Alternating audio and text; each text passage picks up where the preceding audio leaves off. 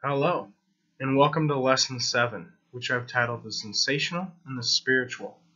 It may seem like kind of an odd title, whereas most of our other titles have clearly delineated a genre or time period or culture or specific type of literature. Uh, but as we continue our discussion of the Renaissance, I've intentionally um, place together two texts, or rather one text and one set of texts here that encapsulate what seem to be two very uh, different categories, the sensational and the spiritual. And my reason for doing that is to show how both of these things were very important during the Renaissance. The sensational text we'll look at today in this lesson, Orlando Furioso, um, by the Italian poet Ludovico Ariosto is very sensational, um, filled with all kinds of scandalous things, not the type of text you would have seen in the Middle Ages. So it really illustrates the progression, the change in style of literature from the Middle Ages to the Renaissance.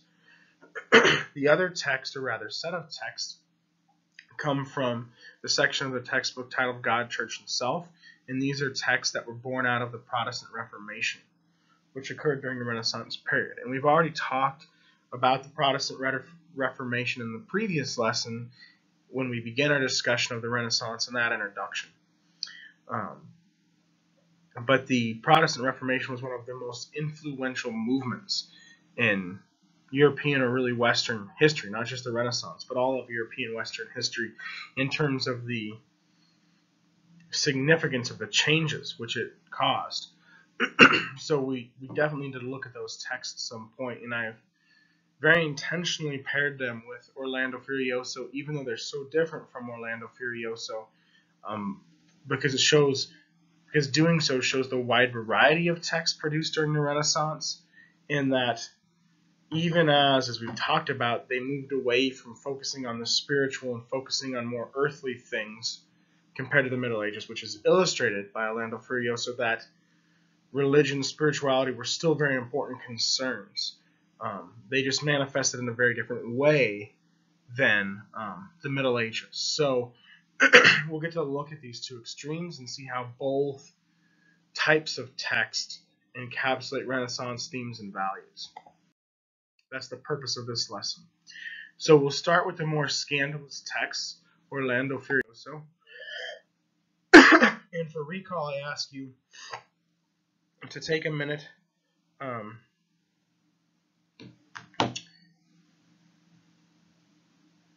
and try to recall the themes and values of the Renaissance. So pause the lesson and take a minute and think about those. Um, once you've unpaused it, I'll go on and you know kind of give you my overview of those. As I just mentioned, a shift with the rise of humanism, a shift from focusing on the afterlife and focusing more on what happens during human lifespan. So focus on more earthly things, more immediate things in the moment. Um, obviously, the rise of humanism. Uh, with that, uh, focus on the individual individuality, and to go along with that, a focus on psychology and interiority. So more of what was going on in someone's mind and more focus on the individual rather than the nation, whereas the nation, as we saw, was very important during the Middle Ages. Um, now, also think about how these themes and values have appeared in the texts we've already studied.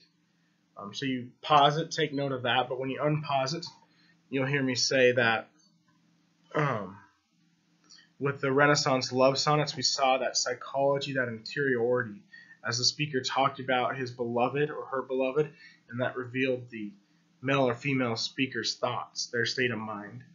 And we've also seen this focus on the individual and the human, with Machiavelli's The Prince, that you know emphasizes um, what a good ruler should be. And although we've seen some earlier examples of the Mirror of Princes genre, such as the Shahnameh. Mainly, that genre really emerged as part of the Renaissance because that focused on what a good leader should be and um, the individual emphasis of that, um, as opposed to just pledging allegiance to the ruler as part of chivalry in the Middle Ages, was such a Renaissance type of thing. Um, and also, what determined who a leader is was questioned more, um, which we'll see as part of the Protestant Reformation. That line of questioning emerges. Um, so, keep these themes and values in mind and try to consider how they appear in both Orlando Furioso as well as the Reformation texts. And we'll return to that as our very last learning question. The background on Orlando Furioso is very brief um, because the author Ludovico Ariosto, even though he has this really significant contribution of this poem we're about to study, um, not i mean it's mainly brief biography is what we're going to go into here. It doesn't go into as much depth. Um, it, i want to say this was a game changer poem in the way that say machiavelli's the prince was a game changer or the way the renaissance sonnets were a game changer. But it's still a very influential work that really helps encapsulate the changes from the middle ages to the renaissance. That's why we're studying but the background is much briefer here. Um, so the poem uh, poem follows Orlando, and in parentheses there that should say Roland or Roland, not Rolando, um, as he chases the elusive Princess Angelica. So that's the basic plot. Um, he's this knight, and she's this Chinese princess, and this is the same character, theoretically speaking, that we saw in Song of Roland earlier in the quarter. Um, you know, as I mentioned, that was a historical battle that that poem Song of Roland depicted, and um, Roland, the hero of it, the protagonist of it, was um, kind of a legendary folk hero. So there have been multiple versions throughout time.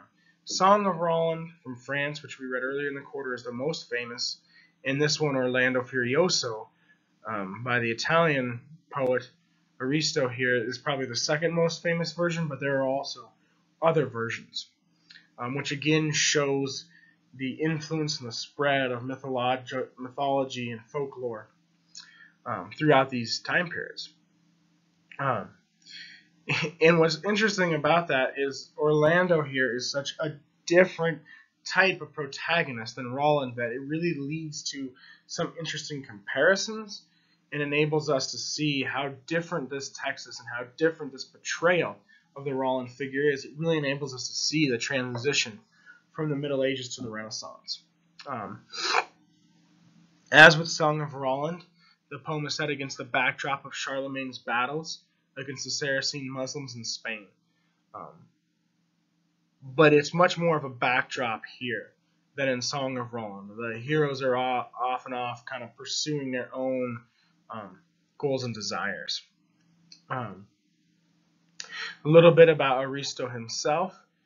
Uh, the textbook calls him Renaissance Italy's greatest poet, um, and that may very well be the case, I would say, outside of Petrarch. But in terms of narrative or epic poetry, this would certainly be the prime example for the Renaissance. Obviously, Dante predates that, with Dante representing the Middle Ages. Um,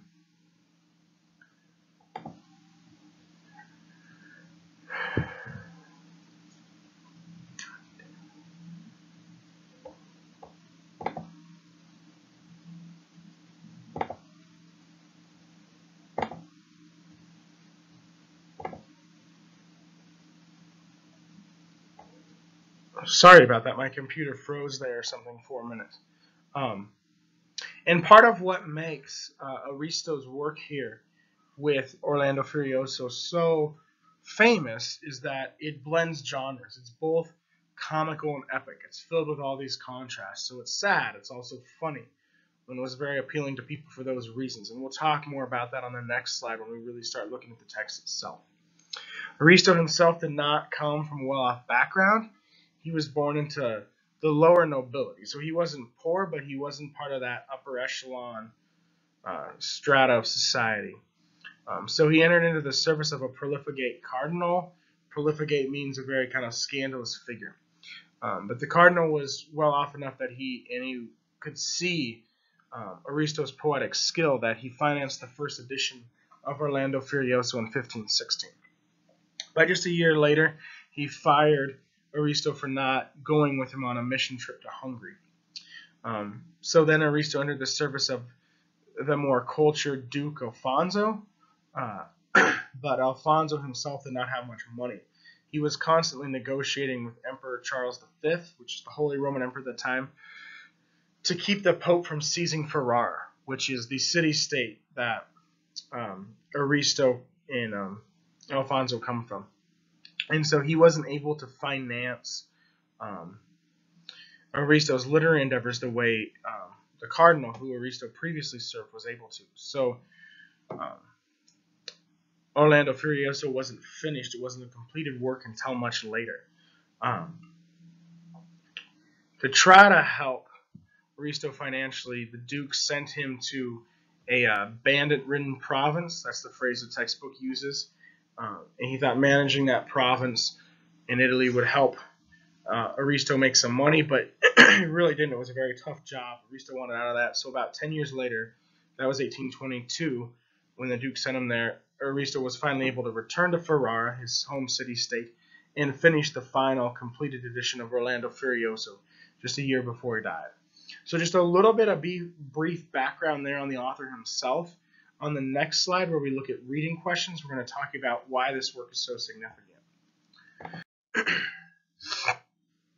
so these reading questions address how unique Orlando Furioso is, which is why we're studying it. And um, hopefully you've already tried to answer these as you were reading.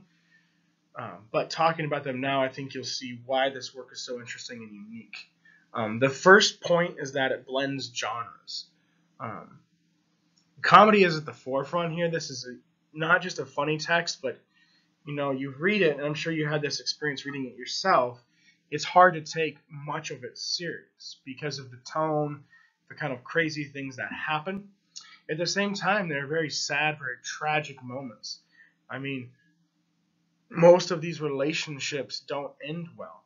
And, and sometimes it's comical when Orlando Furioso is going insane. We, I mean, it's that's tragic, but we probably ask ourselves how sympathetic are we supposed to be to this guy because his quest to pursue the Princess Angelica was kind of doomed or at least ill-fated from the beginning. Whereas Fiordespina's love for Bradamante that seems very tragic. There's a note of sadness, even though um, Richardet's seduction of her is very comical. Um, the fact that she doesn't end up with who she really loves, there's much more sadness running through that narrative. So these blending of genres. Um, there's also more to this. This is a sprawling text. It's a very long text. We're reading a very short excerpt. I think the full text is around 500 pages. Um, so be grateful we're not reading that, but um, it's a sprawling text. We are only looking at two narratives here, and these are the two primary ones, but there are other narratives also intertwined. And in addition to spanning genres, it also spans locations. It, you know, it goes all the way to India and China, where the events take place in the whole narrative. So it's a sprawling text. So part of the question here is, does it feel cohesive? Do these genres come together well, or is it more of kind of a jumbled mess? Um, I want to hear your thoughts on that, so we'll return to that a little bit later with the reading questions. Um, but really think about can tragedy and comedy come together? And when they do, what is their effect? What is the message? How is um, Aristo using that blending of tragedy and comedy to convey a specific message? I'm not going to tell you what the message is. I want to hear your thoughts on it. And there's certainly more than one answer there. this second reason this text is very unique is that Aristo likes to take famous heroes from the past, from history or folklore or mythology, that have traditionally been portrayed in a certain way. For instance, before Orlando Furioso, Roland was portrayed, as we saw, um, as very chivalrous, dutiful, loyal to his king, loyal to a fault almost. Um, basically, the most loyal example you can have. Um, and that's not just in the Song of Roland, that's typically the way Roland was portrayed in most versions of the story before this one. I'm sure there are some exceptions, but most of them. So, um, here, instead of being this dutiful, chivalrous knight, Orlando or Roland completely disregards Charlemagne. We don't even have mention of Charlemagne in the cantos we read, and just goes off on his own quest to pursue this elusive princess, whose uh, you know rejection of him and choosing of another lover eventually drives him insane. So very different. Um, um, but is the character himself that different, or is the author just placed him in new and unexpected situations, situations that seem to evoke a renaissance more than the Middle Ages. So Aristo likes to reinvent past characters, and that was kind of a new thing at the time. We see that a lot in postmodern literature today, but you know, 500 years ago, that was a much newer type of thing. So um, this certainly is maybe not a masterpiece in the way that something like Dante's Inferno or Beowulf or the Canterbury Tales might be, but it, it does very unique things that were new and revolutionary at the time, and that's why we're looking at it. and we'll return to um, each of these questions as we uh, further into the text. Um, here we'll go a little bit further into the text, and my first question here is Describe Orlando's descent into madness. Um, this shows a great degree of psychological depth that we haven't seen up to this point, I would say. Um, we're really getting the inside of his mind, which fits with that whole notion of interiority um, and psychology. Now, psychology is a discipline wasn't invented until the late 19th or late 20th century, but um, in terms of just delving with delving into and dealing with someone's inner thoughts, um, that was something that really um, has been around since the beginning of time, but kind of came to the forefront of the Renaissance. And we see that here where we have two pretty lengthy cantos devoted to just describing what happens inside Orlando's head. Um, building on that, love comes into play. The two most prominent themes in this poem, I would say, are love and desire. And love is what drives Orlando insane. And I have some quotes on the next um, slide where Aristo really intrudes on the text and comments on love and says that love is what drives Orlando insane. Um, but again, because of the comedy here, we can't always take everything that the author says at face value. So, what is he really saying about love? And how does that play a role in Orlando's narrative? So two questions on Orlando's narrative in Cantos 23 and 24, where he's driven insane um, by his love for a princess who he never in, obtains, his desires never fulfilled. Um, so be sure to think about those more, and the learning questions will relate to them. And then shifting gears just a bit to Canto 25. This is the narrative of kind of the love triangle between Fiordespina and the two identical twins, Richardet and Bradamante. Um, where here you have this interesting story narrated by Richardet, where uh, Fiordespina encounters Bradamante. Because she, her hair is cut short, Fiordespina believes she's a man, falls madly in love with her. Um, but then, when Bradamante reveals her true identity of her gender, Fiordespina realizes, because of the conventions of the time, that she can't be with her, and that's a very tragic moment. She's greatly depressed by that. Um, but Richardet hears about this. Richard Richardet is Bradamante's twin brother. He believes Fiordespina beautiful, and he wants to sleep with her essentially. So he goes to her, claims to be his twin sister, um, but that um, this nymph he encountered and rescued, this magical nymph through her magic, transformed him from a female to a male, so now they can be together. Um, and they are for a few months before his treachery is discovered and he's kicked out of the castle. Um, so there's all of this gender switching here, right? Gender seems to be a much less stable thing here than anything we've seen before. And, and so this raises an interesting question. Um, does this kind of gender switching uphold or subvert patriarchal values, which we've, we've already talked about what those are quite a bit this quarter. Um, the reason I asked the question that way is um, it would seem, you know, the, that this gender switching would kind of enable more roles or a greater degree of roles for the, you know, female characters to occupy, but at the same time, they're still always bound by the traditional conceptions, right? Um, Bradamante, or excuse me, Fiordespina only falls in love with Bradamante when she believes she's a man. And when she knows she's a man, she doesn't pursue that relationship, even though she wants to. So there might be some slippage in there. And then again, Richardet kind of uses that to manipulate Fiordespina and, and sleep with her. But again, that's only possible when he, you know, because he's a man.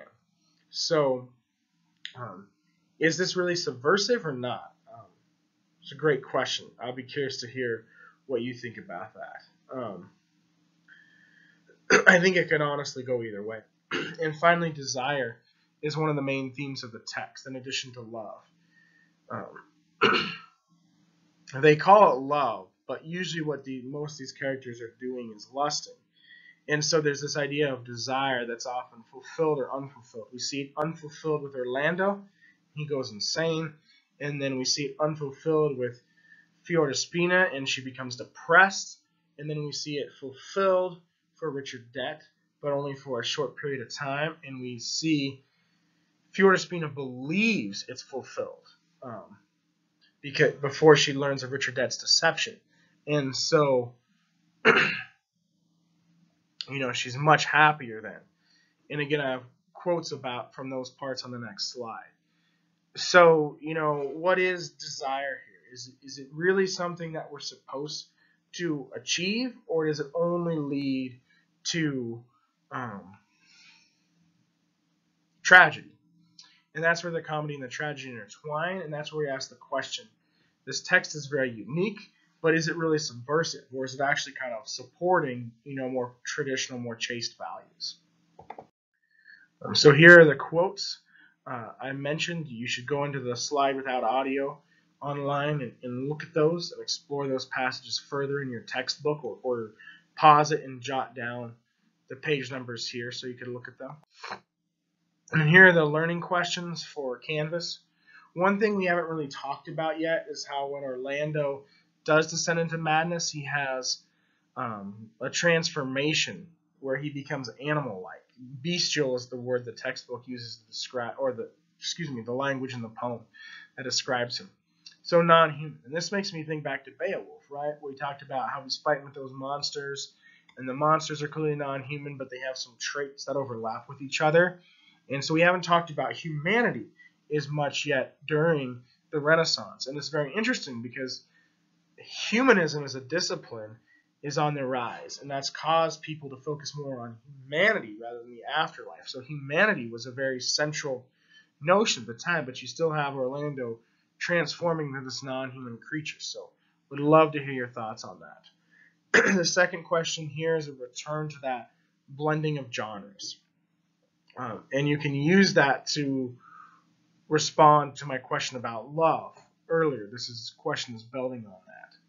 Um, ultimately, what does the poem say about love, and how does the blending of genres help convey that message? Um, further on love, compare and contrast Orlando and Richardet, those two stories. Um, I used Richardet's name there. It's really, I think, Fiordespina is the central character there. I probably should have said it that way. Um, but they're two very different narratives, both about love and unfulfilled desires. So com- compare and contrast the two, and what do we learn from it? Finally, compare and contrast Roland and Orlando, the stories in general. Obviously, there are a lot of differences.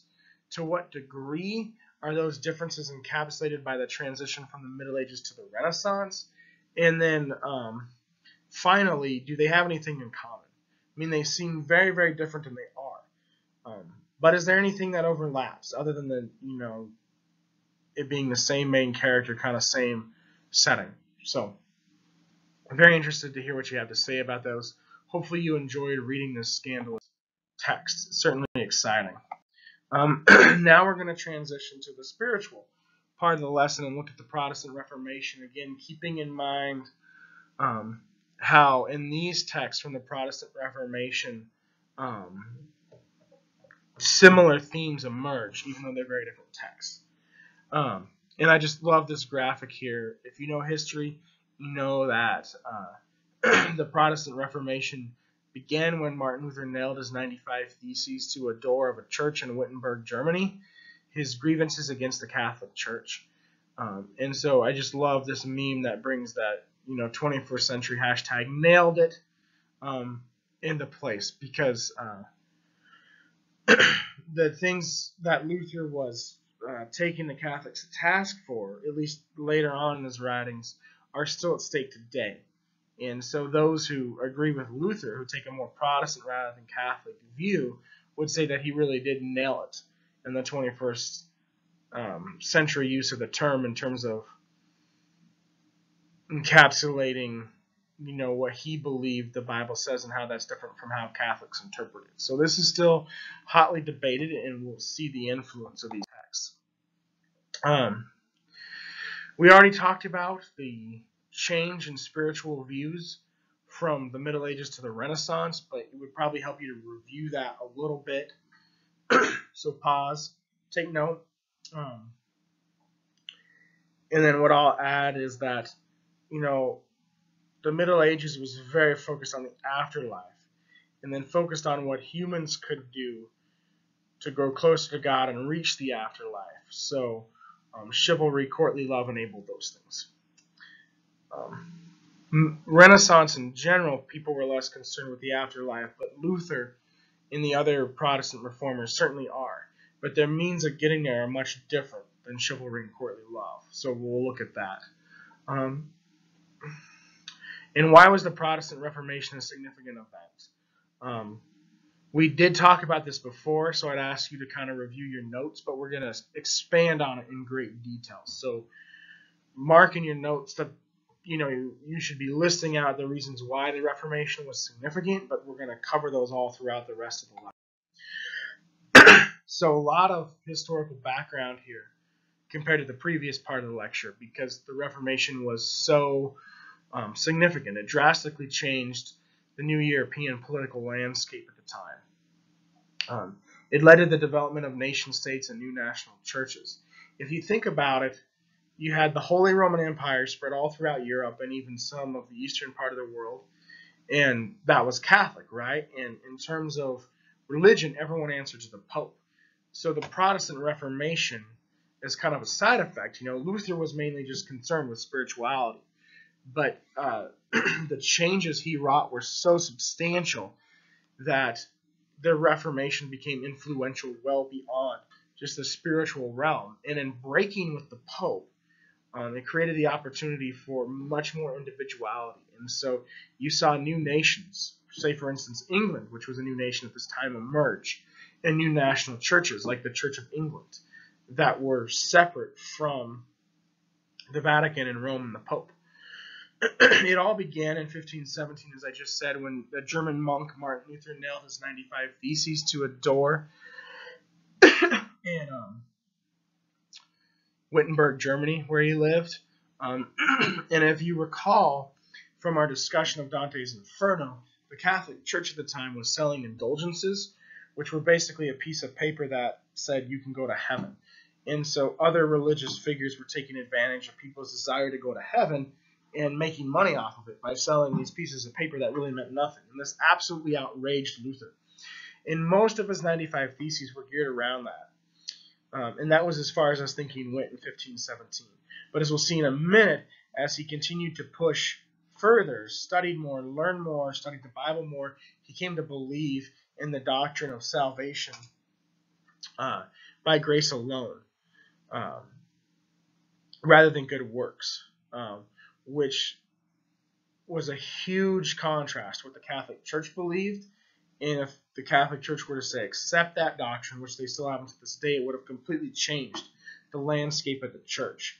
Um, so Luther posed this huge challenge to what had been religious thought throughout Europe for as long as Christianity existed, over a thousand years at this point, um, 1500 years. Um, so he had several revolutionary proposals, including, you know, salvation through grace, um, but also clerical marriage. He was a monk and he married a nun, and they had lots of kids. So he just kind of, you know, disregarded the fact that the clergy weren't supposed to marry, and he thought the clergy should marry. Um, he also proposed a translation of the Bible into local languages, which was a, also a big deal because it, it decentered the power of the Pope and other religious figures and put the power that religion can wield into the hands of the everyday man or woman. so um, we've talked before about the difference between universal and vernacular or local language. A universal be- language being something like Latin or Arabic that is spoken and used in multiple nations, um, and thus is kind of a universal language um, that people can, if they know Latin at this time or they know Arabic at this time, then they can read text from different countries, um, which is a, a cosmopolitan kind of a thing but at the same time, it's also kind of a centrali- an essentializing thing. And so with the Renaissance, we saw the rise of vernacular local language, where text started to be written in French, English, German, Italian, Spanish, etc. And um, the Bible was just written in Latin. And that was part of the problem. The universal language was cosmopolitan in that it incorporated and included multiple nations, but it was not cosmopolitan in that it was reserved for the upper class or the elites. So um, Luther thought he, he read the Bible and he believed that anyone could read and understand the Bible, but only a select few of the population were reading the Bible. So he thought, how does the Pope know more than the average person? Why is the Pope more entitled to understand and interpret the Bible than someone else? Some just average guy who could bring so much to it um, with his perspective. So he proposed the translation of Bible into local languages. And all of these revolutionary propositions here challenged church hierarchy. the Pope and the cardinals and the other people at the top of the church didn't want the average person reading the Bible because that person could potentially challenge their authority. And, and proposing all these things, Luther did. So obviously, he was excommunicated in 1521, but his writings were widely circulated throughout Europe the average person wanted to, you know, get down with what Luther, Luther was saying because he was fighting for the average person's rights here. So um, he was very popular, even though after 1521 he wasn't able to continue to be part of the church. And quite frankly, he probably didn't, you know, really want to be. Um, he wanted to reform the church. He didn't want to completely do away with it. Um, a lot of the major reformers came a generation after Luther, primarily headed by John Calvin. But Luther started it all and, and gave the ideas for it. So he probably would have liked to do some reform from within the church, uh, but at the same time, um, he was so dissatisfied with the Pope, thought the Pope and so many of the people at the top of the church were corrupt, that it doesn't seem like he minded being, you know, dismissed from the church, and he lived happily with his wife and continued to write, and his writings were continually popular and continued to help lead to change. Um, one side effect of all of this, as I mentioned, is the rise of nation states and new national churches. And so Henry VIII, for instance, in England, broke with the Catholic Church and created the Church of England with the help of his advisors, and that was basically Catholicism with divorce for the nobility and the royalty. Um, Philip II declared himself defender of the faith. He was the king of Spain. These are just a couple of examples. Um, and, and certainly Luther wouldn't have wanted to empower men like Henry VIII and Philip II. But if you break with the Pope, when the Pope is, you know, the ruling figure for religion all throughout Europe, that's so significant that it's going to enable other people with very different motives from Luther to also break with the Pope. Um, and and while some of those rulers may be corrupt or not great rulers, at the same time, the emergence of nation states was a good thing, um, because it allowed for the flourishing of a variety of cultures. And so, I mean, you know, today our world is obviously defined by nation states. And so you can start to see how the Protestant Reformation was so influential. Um, and, you know, now it would be easy to look back on the Reformation and, see the ideas Luther's putting forward here as kind of outdated or just associating them with religion. And in the 21st century, religion is seen as a very kind of stodgy, stuffy thing. Um, but these were absolutely radical ideas at the time. The idea that someone was saved and not condemned to hell because of Jesus' sacrifice and not anything they did as a human being, that was a brand new idea that no one had ever heard before. And it sent shockwaves throughout the church, throughout Europe. So um, it's very radical. And the Renaissance was a time filled with, you know, radical challenges to traditional forms of thought. And even though today Luther's ideas probably seem like traditional forms of thought, they were not at the time. And that's important to keep in mind as we continue to study the Reformation. Um, so we have two types of texts um, poems and prose. We're reading Luther and then another uh, prose text, um, and then we're reading some poetry. Um, John Donne is one of the greatest poets of all time. I, I would say Donne is probably um, the greatest poet of all time outside of Rumi, in my personal preference, my personal opinion. And although his religious poems are not necessarily as complex or as interesting as his love poems he wrote to his wife, um, he still um, they still show complexity and depth of thought and great points about religion that really tie into the Reformation.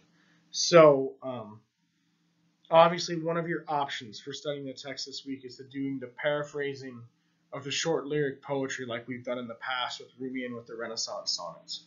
Um, if you choose to look at the prose text, I ask you to think about these revolutionary ideas we just talked about that Luther put forth and how they show up in these texts and maybe additional ones that also show up. And you can certainly think about that with the poems too. Um, so here are the steps for interpreting short lyric poetry. You should be familiar with these from our other two lessons on short lyric poetry. So I'm going to quickly jump to the next slide, but if you're not, you know, you can certainly pause this or go back and review it by opening slides without audio on campus.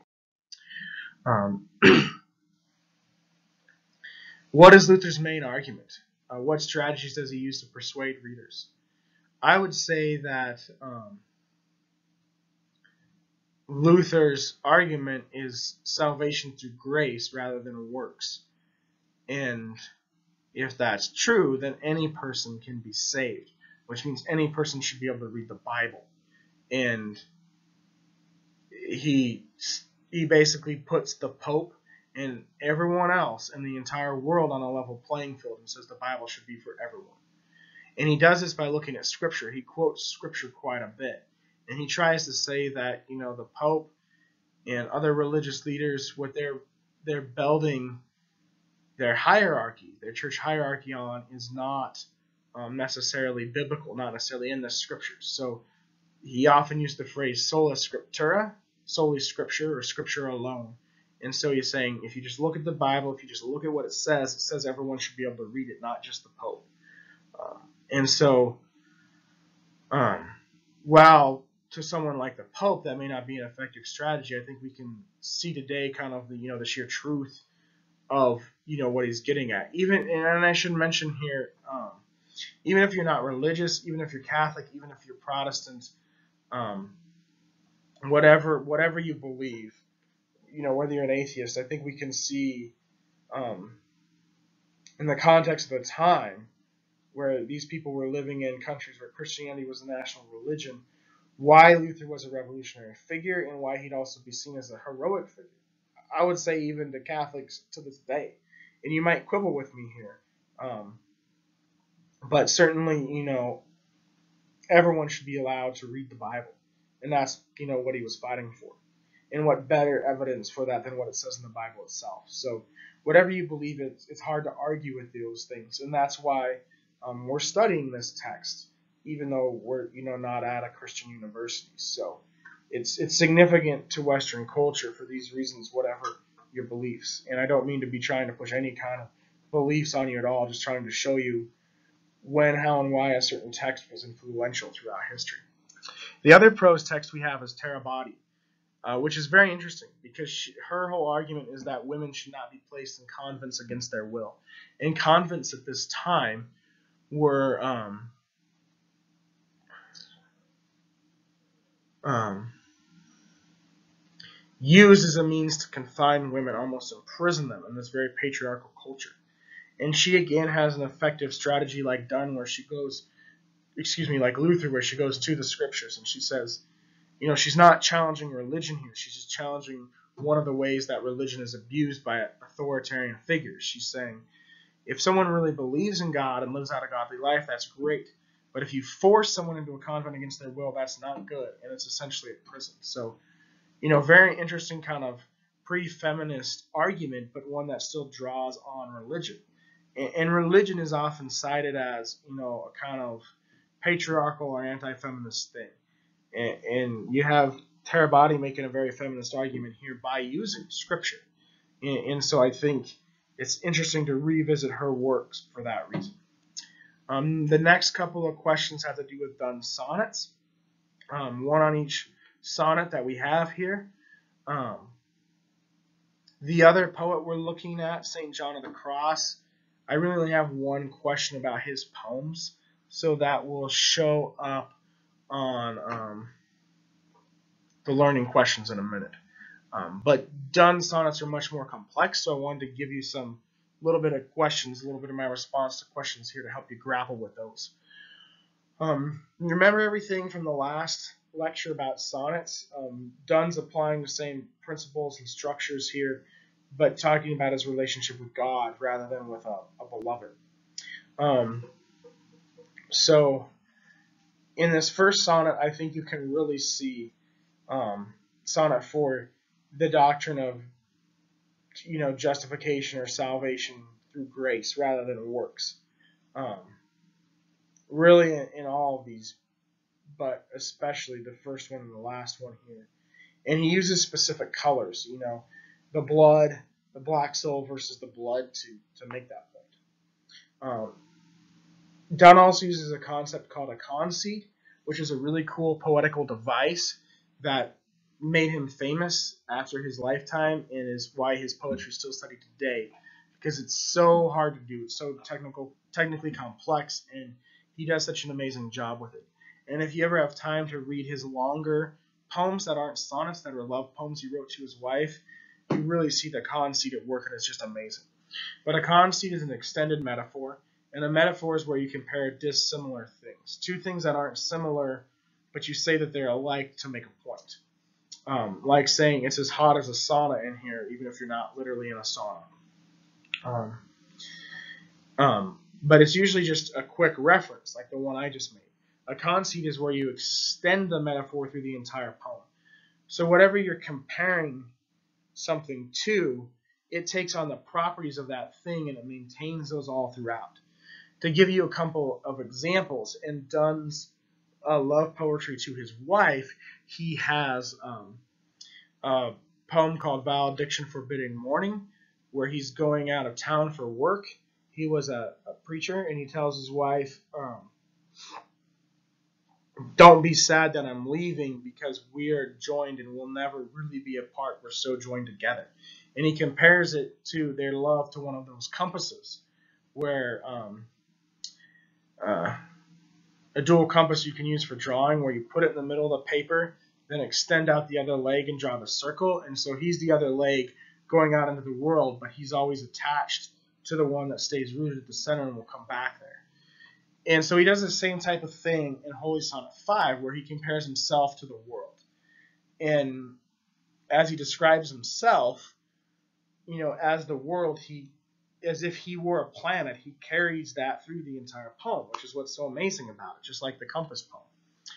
Um, and and if you think about um, the Bible, I don't know how familiar you are with it, but one piece of important background here is that um, in Revelation, when it talks about heaven, the only description of heaven in the Bible, it says that God will eventually destroy um, the current heavens and the earth and replace them with new heavens and a new earth. And essentially, there'll be a new version of Garden of Eden and that's what people will live in. And so uh, because for in Christian doctrine the world is corrupt and fallen, that's why that needs to happen for Christians. And so Donne's saying here he's like the world. He's so flawed as a human. He needs the love of Jesus and he needs to be destroyed and kind of reborn again in order to to be cleansed and be pure and be free of sin.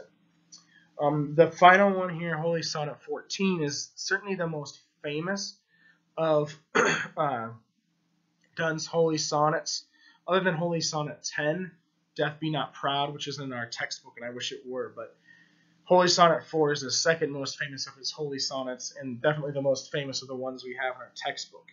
And so um, here he's basically asking the triune God, um, and that's an important part of it, um, the Trinity here. Um, you know, some Christians don't believe, Unitarian Christians don't believe in the Trinity. So um, that's kind of a important part of it that um, could have been controversial in some circles. But what's really interesting about this poem is the carnal language.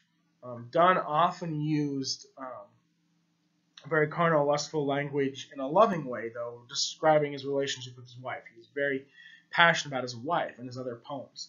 And so critics tend to look at this poem, and when they when he says "batter me, three-person God," you know, ravish me, they tend to look at it as is Donne kind of blurring his sexual um, language he's used in other types of poems with his religious, spiritual language he uses in these holy sonnets. And a lot of critics say they can't be, really be reconciled. It has to do with who Donne was as a person. Um, but I disagree. In, in my interpretation, this poem is a little out there, so you certainly don't have to buy into it. Uh, but I'd like to offer it to you. And there's two. One is that, you know, Donne sees himself as a flawed sinner who can't, you know, um, overcome his sin without the love of Jesus. And so you know, that's why language like this might make it into the poem. But at the same time, I think it even goes beyond that. Um, I think it really comes back to Luther's idea of salvation by grace rather than works. And the reason Donne is telling God to ravish him here is he's saying he can't do this without God. He can't overcome his sin without God. He needs God. And so he just wants God to take complete control of him. And while that may seem hard to reconcile because of all the kind of sexual language here, at the same time, it really does connect with Luther's doctrine of salvation by grace. So I don't know. And it connects with that because he's saying he entirely needs God's help. He can't do it on his own. He needs God to just take control of him, ravish him here. And so I don't know what other people think. A lot of people probably don't see that connection to Luther, but I, I do see it here, and I think it explains the paradox of how can he have God ravish him and be chaste? Well, he's not chaste because he's a sinner. He can only overcome the sin if God just completely takes over. And so he's saying, ravish me so that I can be chaste. It makes sense if you think about it in light of Luther's um, introduction of salvation by grace. But, um, you know, other critics like to just see it as a guy who liked to talk about sex in his other poems, trying to write holy sonnets. Um, but I think it goes beyond that. And, and, but you can take it either way. So I'd love to hear your interpretations again. Um, here are some really important passages from uh, Luther and Tarabotti. And then, of course, the poems are so short uh, for close reading, I would say read them in entirety like we talked about on the close reading slides earlier.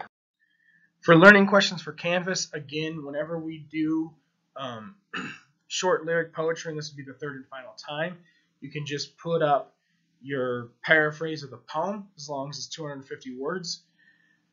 Um, but if you don't want to do that, if you don't want to paraphrase a poem line by line, you could also try to answer one of the following questions. Um, again, coming back to the idea of salvation through grace, why would that be radical at the time? Or any of the other ideas Luther introduced, why would they be radical? Um, how does Tarabotti use her um, spiritual concepts to make her argument? How does she tie her argument to Christianity, religion, spirituality, right? Christianity is often seen as a patriarchal thing. At the time, it was often used that way, but she's trying to challenge it and say, no, it shouldn't be used that way. Just like Luther, she's saying, people who are abusing Christianity at the time have misinterpreted it. If we go back and look what the Bible says, we'll get a different view, a less patriarchal view, or a view that leads to less corruption in the church in Luther's case. So, how are her strategies similar to Luther's? Um, we haven't talked about San Juan de la Cruz, who's better known as Saint John of the Cross yet, um, but his short poems, it sounds like he's having a love affair with God, um, which seems odd. So why would he use that language? Is the question.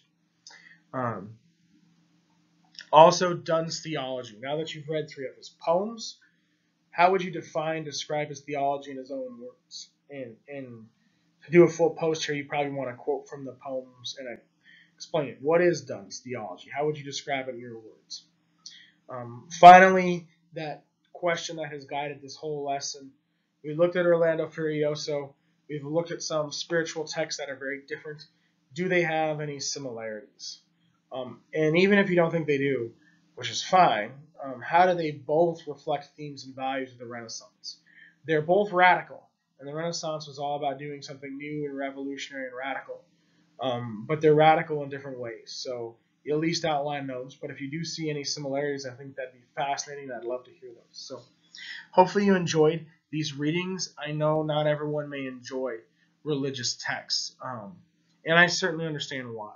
But at the same time, these were highly influential texts that I think no matter what you believe, have some really interesting ideas that are at least worth exploring from a philosophical standpoint. So I've enjoyed talking with you. I look forward to reading your posts, and I hope you enjoyed the readings for this lesson. Have a great day.